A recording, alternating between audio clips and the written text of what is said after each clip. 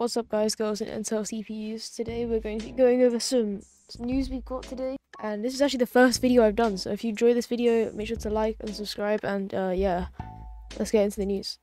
So first up, we have a new way to log into Roblox. Uh, we have a tweet from the RTC saying, password getting too hard to handle. The option to use a one-time code is now being introduced as a substitute to entering a password. Soon it'll make the rounds over to anyone. It's currently in beta. And it's showing a screenshot of you can now send in a one-time code to your email to log in. There's a lot of people who are not happy with this. They're saying that they hope that there's a way to disable this or like they don't like this because it's easier just to hack you if you have to log in using a code, you should just remember your password better. That's what people are saying.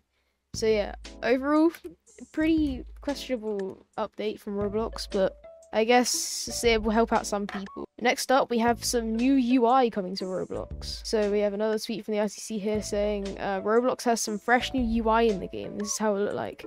And it attached a screenshot of a new UI. It looks pretty. It looks pretty clean actually. I'm not gonna lie. The UI, it looks similar to the one we have now. It's much smaller. Uh, it has it has a non-transparent background. I feel like it should have that because it's just black right now. Overall, just looks much better. I feel like they're probably gonna roll this out slowly, but if you have this, let me know in the comments. And yeah, as we can see as well, a lot of people are liking this as well, saying this looks cool. The Roblox did something that looks good.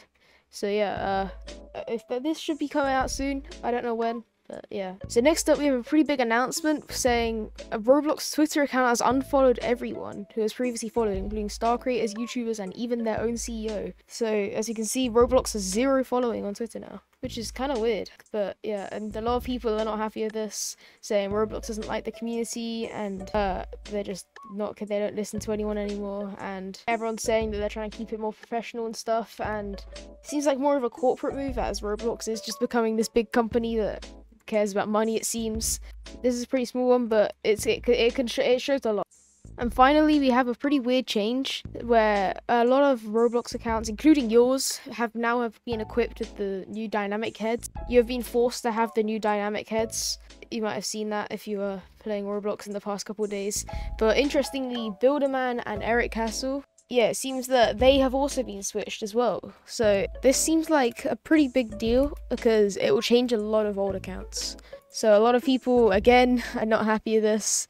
Anyway, that was just about it. If you guys enjoyed the video, like, subscribe, comment, do all that sort of stuff. Yeah, and I'll see you guys later.